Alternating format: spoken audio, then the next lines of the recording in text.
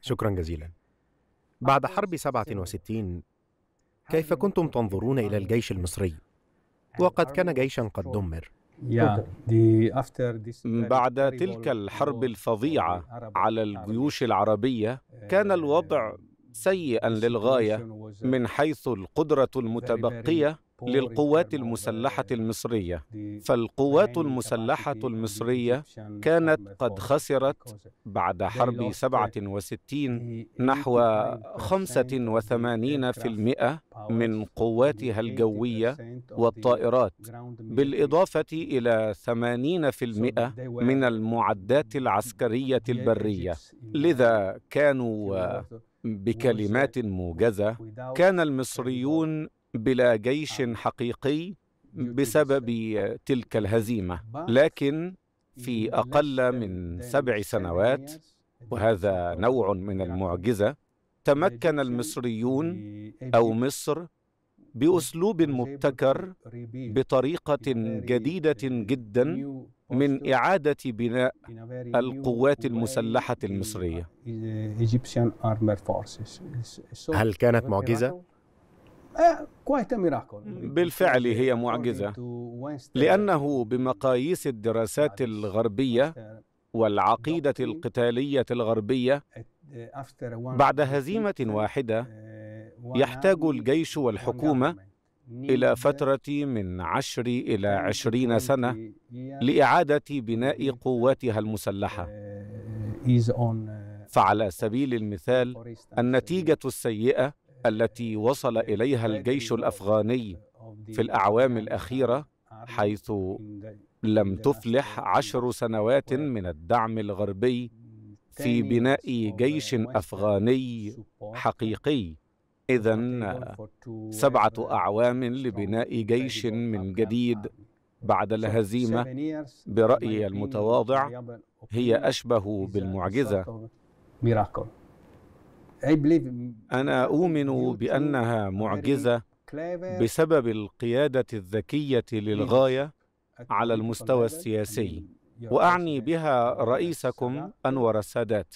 وأيضا القيادة الاستراتيجية والعسكرية في ذلك الوقت متمثلة في وزير الدفاع ورئيس الأركان في ذلك الوقت حيث استطاعوا دراسة الخطأ السابق الذي وقع في حرب 1967 من أجل العثور على ما يمكن التغلب به على تلك المشكلة التي وقعوا فيها بعدما دمر الجيش جراء الهزيمة.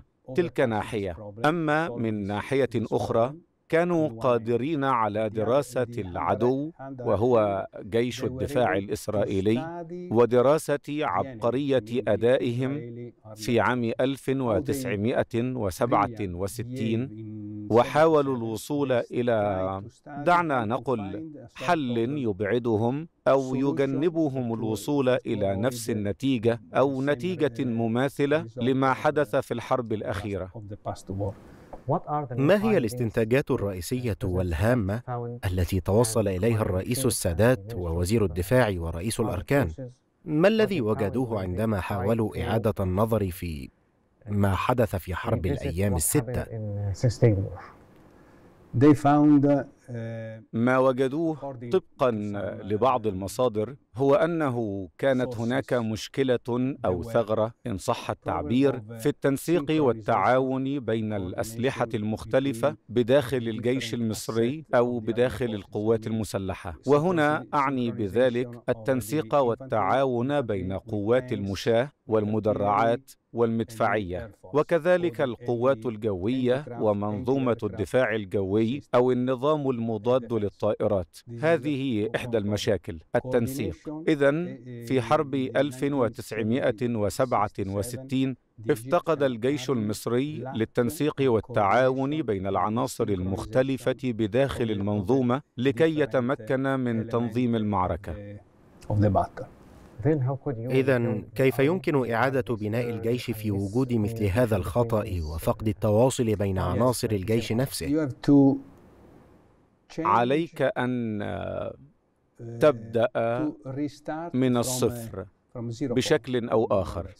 لأن الضباط الضباط أنفسهم خرجوا من حرب 1967 فاقدين لبعض بعض قدراتهم أو دوافعهم ليكونوا قادة أفضل. فالخطوة الأولى هي تغيير كل قادة الأنساق على المستويات التكتيكية والتعبوية والاستراتيجية. وإدخال ضباط جدد لم يعانوا من الهزيمة السابقة.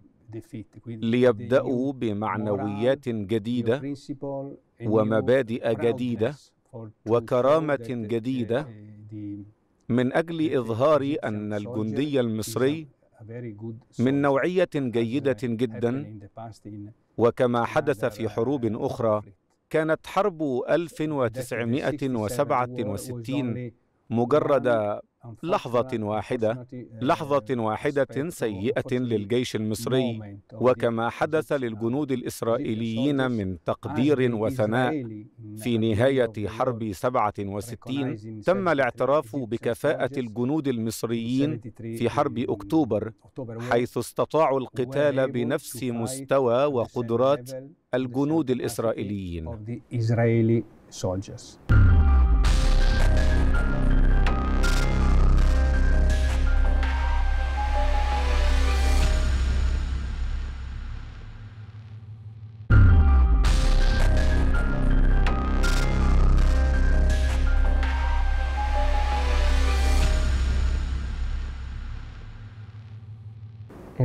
في حرب 1973 هل كان الجندي المصري هو الاستثناء أم القاعدة؟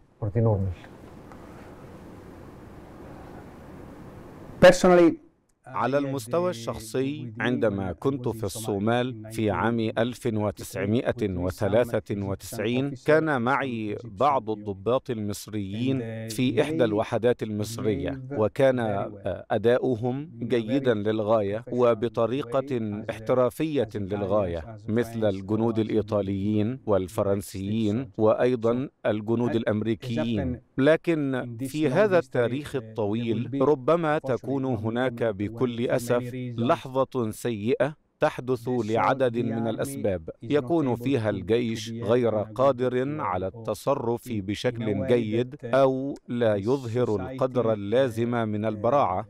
في الوقت الذي يظن فيه المجتمع أن هذا الجيش قادر على القتال. إنه أمر وارد. وفي إيطاليا موطني كانت لدينا هذه المشكلة خلال الحرب العالمية الثانية. وكذلك ألمانيا التي يعتقد أنها تمتلك أكبر القدرات في المجال العسكري. عانت من نفس المشكلة في الحرب العالمية الأولى. وكذلك الولايات المتحدة في حرب فيتنام على سبيل المثال. اذا هناك لحظات لا يتصرف فيها الجيش بطريقة احترافية جيدة ولا يحسن أداء المهمة وهناك الكثير من الأسباب لذلك. منها القيادة السياسية والقيادة العسكرية والتوقعات التي عادة ما تفوق قدرة تلك القوات المسلحة. كيف كانت إعادة بناء الجيش المصري تجري في تلك الفترة؟ لأن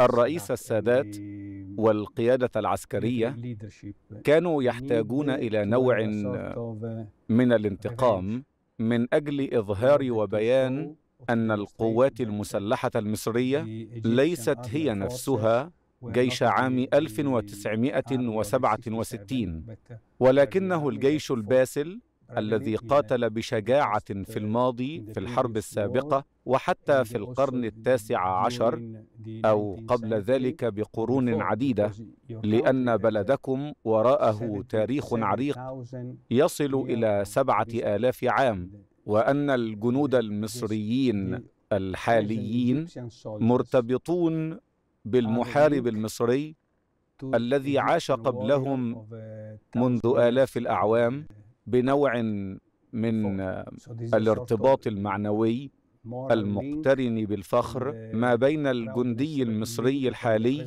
والجندي المصري القديم. أولئك الجنود كانوا مجهزين بأسلحة سوفيتية قديمة. في حين تم تجهيز الجنود الإسرائيليين بالأسلحة الأمريكية المتقدمة. نعم. ولا لأن السوفييت بالطبع لم يوفروا أفضل الأسلحة بين كل الأسلحة الحديثة المتقدمة تكنولوجياً. ولكنهم وفروا أسلحة جيدة بقدرات جيدة. ولكنها ليست الأحدث. إلا أن المصريين الذين حاربوا في عام 1967 كانت لديهم مشكلة في قدرات الدفاع الجوي والأسلحة المضادة للدبابات حيث وفر السوفييت أسلحة دفاع جوي تستطيع الاشتباك مع العدو في مدى من 20 ل 30 كيلومترا وصواريخ دفاع جوي محمولة مضادة للطائرات شديدة القوة وتتميز بسهولة الحركة وخفة الوزن وتعمل خلف قوات المشاة.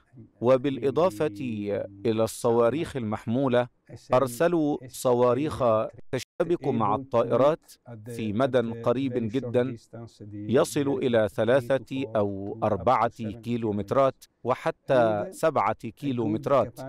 وأيضا أسلحة جيدة مضادة للدبابات مثل الصاروخ الموجه الشهير من طراز ساجر. وهذا هو اسمه في مصطلحات حلف شمال الأطلنطي ناتو. وصاروخ ساجر هو أفضل صاروخ موجه مضاد للدبابات في الترسانة السوفيتية. ومثيله في الترسانة الأمريكية هو الصاروخ تو. ثم قام السوفييت بتوفير كبار متنقلة. استطاع المهندسون المصريون استخدامها بطريقة شديدة الاحترافية. وهو أحد الأمثلة الإيجابية الهامة على الأعمال الجيدة التي قام بها الجيش المصري والتي استطاعوا بواسطتها العبور إلى الضفة الأخرى لقناة السويس في ساعات قليلة. وأن تنقل في أقل من يوم واحد على الأقل إذا لم أكن مخطئا ولم تخني ذاكرتي أكثر من خمسين ألف مقاتل مصري وثلاثمائة أو أربعمائة دبابة دبابة روسية. وهذا يتفق مع ما قلته من قبل بشأن التعاون والتنسيق بين الجبهات المختلفة في المجهود القتالي. أعني الطائرات والدفاع الجوي والمدفعية. ولا تنسى المدفعية لأنها أهم شيء في الحرب.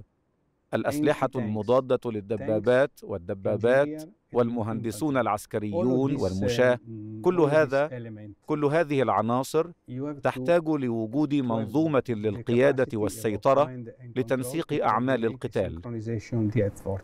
كم عدد السنوات التي يستغرقها تحقيق هذا التنسيق و... ولتدريب كل تلك العناصر؟ في هذه الحالة وفي رأيي تحتاج إلى عشر سنوات على الأقل. لأن عليك أولا إعداد الضباط. إعداد الضباط. وأن تبدأ بعدها في أن تختبرهم ميدانيا فيما تعلموه نظريا طبقا للعقيدة القتالية. وتطبيق ذلك مع الجنود عدة مرات من أجل الحصول على نوع من رد الفعل التلقائي أو التصرف التلقائي عندما تكون في أرض المعركة. وهذا شيء مهم للغاية أن يتم على مدى عشر سنوات على الأقل. فالطالب يتخرج في الأكاديمية العسكرية ليكون في رتبة ملازم ثان ثم ملازم أول وبعدها نقيب بمعنى أن يكون الملازم قائد فصيلة والنقيب قائد سرية. وهذا إجراء يتم في عشر سنوات. وخلال السنوات العشر يقوم هذا الضابط الصغير بالتدرب ميدانيا على ما تعلمه في هذه المدرسة العسكرية على أرض الواقع. ثم عليه أن يدرس ذلك للجنود حتى يشرح لهم المشكلات التي سيواجهونها ويعلمهم كيف كيفية التصرف إن حدثت إحداها. ثم يجب على هذا الضابط أن يعمل مع العناصر الميدانية الأخرى مثل الدبابات والمدفعية إلى آخره من العناصر المختلفة. المشكلة دائما المشكلة الأكبر هي عدم وجود تنسيق جيد و تعاون. أجل تعاون جيد ويتميز بالمهارة. حسنا عندما تريد أن تنقل كل عناصر الجيش معا بشكل منسق مع الحفاظ على تحقيق المفاجأة. وأعني مفاجأة كبيرة. قبل كل ذلك كان هناك خداع. أجل أجل صحيح. توجد بعض المبادئ للحرب وهي في غاية الأهمية وهي فعالة للغاية ومن الرائع أن تطبقها بشكل جيد وبمهارة فائقة بالطبع وأولها مبدأ المفاجأة. المفاجأة. وفي هذه الحرب أعني في حرب السادس من أكتوبر استطاع المصريون تحقيق مفاجأة سياسية ومفاجأة استراتيجية ومفاجأة تكتيكية. ثم مبدأ الخداع وهو مبدأ هام للغاية على الدوام. هل سنهاجم في هذا الاتجاه أم في هذا الاتجاه؟ وذلك من أجل خلق بعض الارتباك لدى القيادة العامة للعدو. أو جعلهم يسيئون الفهم. ثم مبدأ التنسيق. و نحن هنا نتحدث عن فشل الاستخبارات الإسرائيلية. نعم. لأنهم نعم. لم يعرفوا ما تقوم به مصر من استعدادات. أجل بالنسبة للاستخبارات الإسرائيلية لأن في نهاية الحرب قامت حكومة تل أبيب بتشكيل ما يشبه نوعا من لجنة أجرانات نعم. تحقيقات. نعم. تحقيقات بغرض الخروج بالدروس المستفادة ومعرفة الأخطاء. وهكذا أحد العناصر التي ظهرت من خلال هذا التحقيق يتعلق بالاستخبارات. لأن مدير الاستخبارات العسكرية الإسرائيلية آنذاك كان واثقا تمام الثقة بأن قدراتهم ستمكنهم من الحصول على معلومات عن احتمال قيام العدو بهجوم. قبل وقوعه بثمان وأربعين ساعة على الأقل من أجل إعطاء الوقت للقيادة العامة الإسرائيلية لاستدعاء عناصر الاحتياط في الجيش الإسرائيلي ودفعهم بمعداتهم الكاملة إلى الجبهة بغرض إيقاف هجوم العدو. ولكن في عام 1973 فشلت الاستخبارات الإسرائيلية في توفير هذا التحذير المسبق قبل 48 ساعة من وقوع الهجوم حيث قامت الاستخبارات بإبلاغ الحكومة الإسرائيلية في صباح نفس يوم الهجوم يوم السادس من أكتوبر. حيث قام المصريون في الجنوب والسوريون في الشمال بعد ساعات قليله بشن هذا الهجوم على اسرائيل وكانت تلك هي المشكلة الرئيسيه للاسرائيليين كانت تلك هي المشكلة الرئيسيه لانهم كانوا واثقين بصوره زائده عن الحد في قدراتهم الاستخباراتيه للحصول على معلومات من مصر ومن سوريا على الرغم من أنهم لم يتمكنوا من تقييم بعض الإشارات التي أرسلتها عناصر الاستخبارات على الأرض إلى تل أبيب. ولكن في رأيي أن النتيجة الحقيقية هي ما حققته الاستخبارات المصرية والرئيس السادات ورئيس الأركان كذلك. الفريق سعد الدين الشاذلي. أجل. لأنه قبل شهور من الهجوم أعلن الجيش المصري إعلانا عاما أنه في شهر أكتوبر سيتم إجراء مناورة تدريبية بجوار قناة السويس. وكان ذلك حينها يعد نوعا من التدريبات العادية.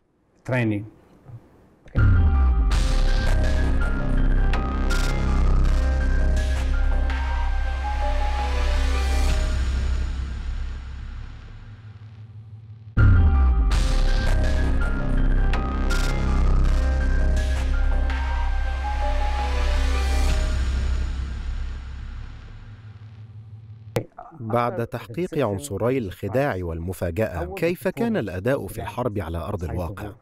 الجنود؟ أقصد الجنود والضباط والجيش كله. الأداء كان رائعا طبقا لاعتراف القادة الإسرائيليين أنفسهم حيث قالوا في عدة بيانات علنية إن الجيش المصري ليس هو جيش عام 1967 ولذلك فإنهم قد فوجئوا للغاية وبهذه القدرة الرائعة للجندي المصري على القتال في حرب السادس من أكتوبر على نفس مستوى الجنود الإسرائيليين. أو كما نقول قتال الأنداد. المشكلة برأيي أو المشكلة الوحيدة لم تكن في الجنود على المستوى التكتيكي أو على مستوى القادة التكتيكيين. بمعنى الملازم والنقيب والمقدم وحتى مستوى قائد الكتيبة. ربما كانت المشكلة هي تطبيق العقيدة السوفيتية بدءا من مستوى القيادة العامة وصولا إلى مستوى قائد الفرقة. لأنك كما تعلم فإن العقيدة السوفيتية التي هي الآن العقيدة الروسية هي التي تطبق في أوكرانيا القيادة والسيطرة في العقيدة السوفيتية غير مرنة فلكي تتخذ قرارا يجب أن يتم التصديق على هذا القرار ليس من خلال القائد الميداني ولكن يجب أن يتم التصديق عليه من مستوى قائد الفرقة أو قائد الفيلق. أعلى قيادة؟ نعم. عقيدة صلبة وغير مرنة. لذلك لكن عندما هاجمت مصر بخمس فرق بالتوازي لم تكن تلك هي عقيدة سوفيتية أو تكتيك السوفييت بلى. بل كان تكتيكا جديدا طوره المصريون. لا. بل كان نموذجا للتكتيكات السوفيتية في ذلك الوقت لأنه خلال الحرب الباردة كان الغرب أو حلف شمال الأطلنطي ناتو يخشون للغاية من هذا النوع من هجوم الدبابات السوفيتية واسع النطاق جدا قادما من ألمانيا الشرقية إلى ألمانيا الغربية ثم إلى فرنسا أو إيطاليا. بمعنى أن يكون هناك هذا الحشد من الدبابات المتجهة نحو العدو. وكان المصريون قادرين على تنفيذ هذا التكتيك. ولكن مع اختلاف مهم جدا مقارنة ب 1967 حيث قاموا بدفع الدبابات والوحدات الميكانيكية والمشاة تحت مظلة منظومة الدفاع الجوي المضادة للطائرات. بحيث توفر الحماية الكاملة للدبابات المتقدمة. حسنا. خلال الحرب كيف استوعب الجانب الإسرائيلي صدمة قيام القوات المصرية بعبور قناة السويس وإقامة رؤوس جسور على الضفة الأخرى لقناة السويس. كما قلت الجيش الإسرائيلي لم يفهم ولم يستوعب نفسيا أن المصريين كانوا قادرين على تنفيذ هذا النوع من العمليات. عشر كبار. عشر كبار عائمة تم مدها من الضفة الغربية إلى الضفة الشرقية للقناة. عشر كبار في نطاق الجيش الثاني. تم إنشاؤها في أقل من عشر ساعات. أما الجيش الثالث فقد أنشأ الكباري الخاصة بنطاقه في نحو 16 ساعة. من بعد ظهر يوم السادس من أكتوبر حتى وقت متأخر من صباح يوم السابع من أكتوبر. لذا أعني هل من الممكن أن توضح ذلك على الخريطة؟ أجل. أود أن أؤكد على أمرين. حسنا. الأول هو أن هذه الحرب التقليدية وقعت خلال حقبة الحرب الباردة. وفي إطار الأجواء الشاملة للحرب الباردة حيث كانت كمواجهة بين العقيدة السوفيتية والعقيدة الأمريكية أو عقيدة الناتو. العقيدة السوفيتية أكثر صرامة وأكثر تنظيما بالشكل الذي يسمح لها بدفع هذا العدد الكبير من الدبابات للهجوم مع مضادات الدبابات والطائرات. على الجانب الإسرائيلي كانت توجد العقيدة الغربية والعقيدة الأمريكية بشكل أساسي. وبالطبع كانوا معتادين على المناورة بالدبابات والطائرات لأنهم كانوا يؤمنون بأن الطائرة هي بمثابة المدفعية الطائرة. كانت تلك هي المرة الأولى التي يختبر فيها الجانبان السوفيتي والأمريكي بعض الأسلحة الجديدة مثل صواريخ ساجر المضادة للدبابات وصواريخ تو المضادة للدبابات من الجانب الإسرائيلي. لذا فإن هذه الحرب أتاحت الفرصة لتجديد العقيدة العسكرية التقليدية للجانبين لكي تؤكد على مبدأ المناورة بالأسلحة المشتركة وتنظيم التعاون.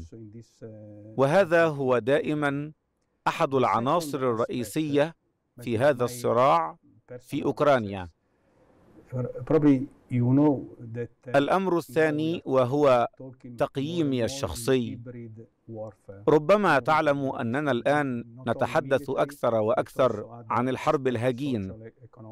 والهجين لا تعني الجانب العسكري للحرب فحسب بل تعني أيضا الجوانب الأخرى الاجتماعية والاقتصادية والثقافية ومواقع التواصل الاجتماعي والحروب النفسية والهجرة والاتصالات. لكن في حرب أكتوبر كانت المرة الأولى التي تدخل فيها بعض الجوانب الاقتصادية في هذا المجال. وأعني بهذا ما تم من فرض الحظر النفطي الذي فرضته البلاد العربية. التي كانت قادرة على إنتاج ما يقرب من 90% من إنتاج النفط العالمي في ذلك الوقت حيث قامت تلك الدول بقطع إمداد البترول للدول الغربية وتقليل الإنتاج لممارسة الضغط على أوروبا والولايات المتحدة وأوروبا واليابان وإسرائيل من أجل وبشكل رئيسي ممارسة الضغط على الأمريكيين ثم على إسرائيل لإيقاف الأعمال الإسرائيلية التي لم تحترم وقف إطلاق النار في المرحلة الأخيرة من الحرب الذي صدر يوم الثاني والعشرين من أكتوبر وأيضا يوم الخامس والعشرين من أكتوبر وفقا لقرار مجلس الأمن التابع للأمم المتحدة رقم 338 إيقاف تصدير النفط أدى إلى وجود مشكلة كبيرة في الدول الأوروبية. وتوقفوا عن دعم الأمريكيين في الجسر الجوي الذي نقل 22 ألف طن من المعدات العسكرية. ما عدا البرتغال التي استمرت في دعمهم ووفرت لهم مطارها العسكري في جزيرة آزوري. كمحطة ترانزيت للطائرات. وكان هذا هو الجانب الآخر من تلك الحرب الهجين اقتصاديا وتجاريا. وكان سببا في الحفاظ على الوضع بعد يوم السادس والعشرين من أكتوبر الذي تم فيه تطبيق وقف إطلاق النار وإعلان الهدنة. وهو الذي لم يطبق بشكل كامل دائما ولم يحترم دائما من كلا الجانبين. حيث كانت تقع بعض المناوشات الصغيرة في بعض الأحيان بين هذين العدوين.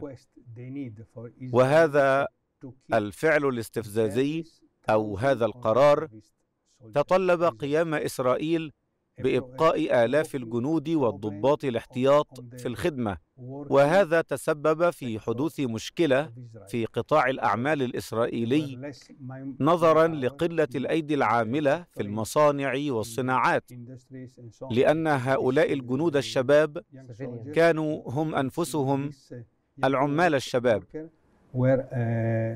كانوا العمود الفقري للمجتمع الإسرائيلي. نعم كانت هذه مشكلة للمجتمع الإسرائيلي. والنقطة الأخيرة هي أنه ولأول مرة يدرك القادة الإسرائيليون مدى التأثير النفسي. لأول مرة يرى القائد الإسرائيلي أن عددا من الجنود وأعني عددا ليس بالقليل عانوا من مشكلة نفسية. وهنا عليك أن تفكر بعقلية الجانب الإسرائيلي. في الحروب الثلاث السابقة أعوام 1948 و 1956 و 1967 كانوا هم الجانب المهاجم. أما في هذه الحرب الرابعة كانوا هم من تلقى الهجوم وعانوا من هذا الهجوم. لذلك لم يكونوا قادرين عقليا ونفسيا على القيام بالدفاع أو اتخاذ مواقف دفاعية. لأن موقفهم كان كانوا تحت تأثير المفاجاه والصدمة. نعم. لأن موقفهم كان دائما القيام بالمناورة والهجوم. لذا فإنني أعني أن القوات الجوية والقوات البحرية والقوات البرية الإسرائيلية كانت تعمل دوما كقوات مهاجمة. وهي من تبدأ بالهجوم على الطرف الآخر. لا تكون مستقبلة للهجوم. وهذا يغير العقلية والقدرة وعقيدة القوات الإسرائيلية في الحرب المقبلة التي سيكون عليهم خوضها.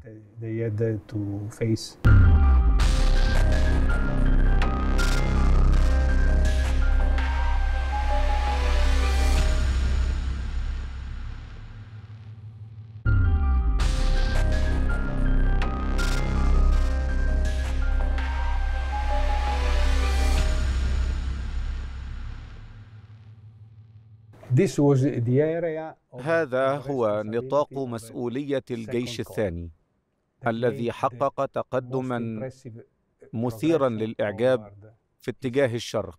وهذا هو نطاق مسؤولية الجيش الثالث الذي تمكن خلال ست عشرة ساعة من دفع مئات الدبابات وآلاف الجنود إلى الضفة الشرقية لقناة السويس في سيناء.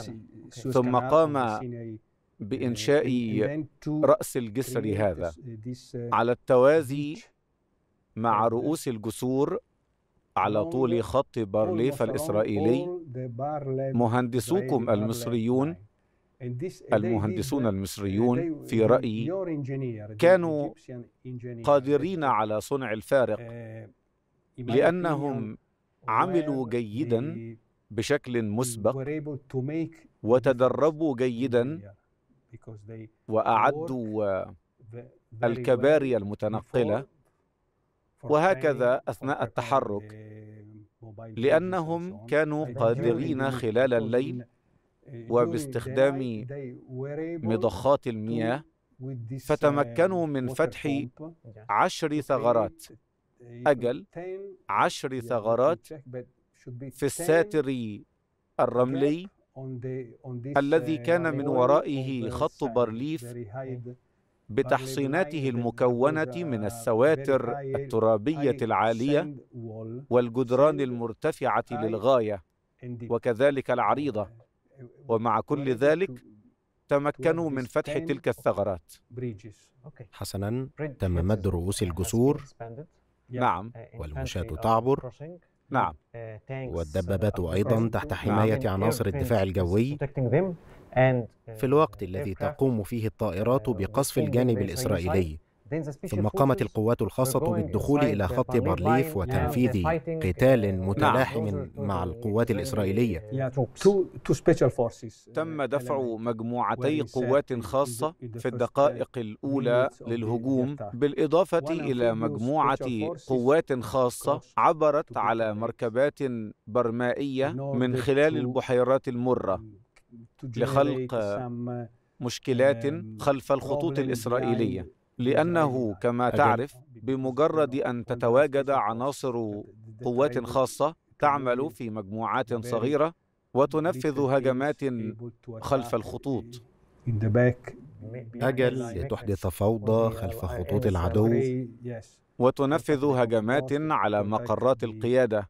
والقواعد الإدارية وهجمات على مستودعات الذخيرة. أما المجموعة الثانية من القوات الخاصة فقد تم دفعها في هذه المنطقة. في محاولة للسيطرة على ممر متلة لكن كما تعلم هذا الجزء كله جبال ولا يوجد سوى ثلاثة ممرات صالحة لاستخدام الدبابات والأسلحة الثقيلة والمركبات الثقيلة.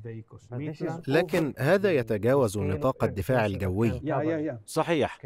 لكن عناصر الصاعقة المتبقية تمكنت من إيقاف تقدم وحدات الاحتياط في الشرق باتجاه القناة لعدة ساعات. وبالفعل قاموا بعمل في غاية الأهمية لخلق الارتباك وسوء الفهم وإحداث تأثير نفسي لدى العدو. حسنا. وهذه هي النتيجة بشكل أو آخر بعد يومين. وهذا هو موقف القوات المصرية يوم الثامن من أكتوبر. وتمكنت من صد كل الهجمات المضادة الإسرائيلية. لأنهم كانوا لا يزالون تحت مظلة نظام الدفاع الجوي. وكان لديهم في خط المواجهة وفر لهم التغطية ل 14 كيلومترا. نعم وقد وضعوا أعني الجيش المصري بالفعل قد وضع في خط المواجهة كل الأسلحة المضادة للدبابات القادرة على نصب كماء للدبابات الإسرائيلية. وكان هذا تكتيكا استخدمه الجنرال روميل خلال الحرب العالمية الثانية في أفريقيا ضد البريطانيين. وفيه قام بوضع الأسلحة المضادة للدبابات أمام الدبابات من أجل تغطية الدبابات وحمايتها.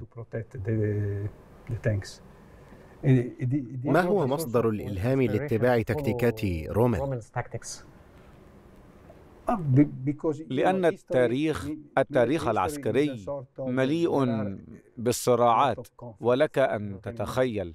ولكن بعض المواقف دائما هي نفسها. ولكن في زي مختلف أو أسلحة مختلفة أو في حقبة مختلفة. ولهذا نطلق عليها اسم مبادئ الحرب. التي خرجت من حقبة معينة أو تاريخ معين وهي مبادئ صالحة منذ آلاف السنين وحتى اليوم. منذ بدء الهجوم في الساعة الرابعة عشرة وخمس دقائق عندما بدأ الهجوم المصري أطلقت المدفعية المصرية في ثلاث وخمسين دقيقة فحسب أكثر من عشرة آلاف طلقة مدفعية. بواقع 175 والإسرائيليون كانوا في حالة انهيار. بواقع 175 طلقة في الثانية. في الثانية. لأنهم كان لديهم ألف مدفع. موزعين ومنتشرين خلف القناة. عشرة آلاف طلقة في أقل من ساعة. هذا عدد هائل.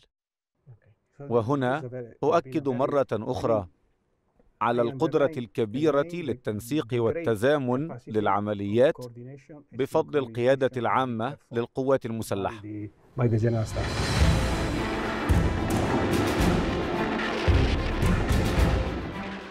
هنا الجانب المصري من قناة السويس.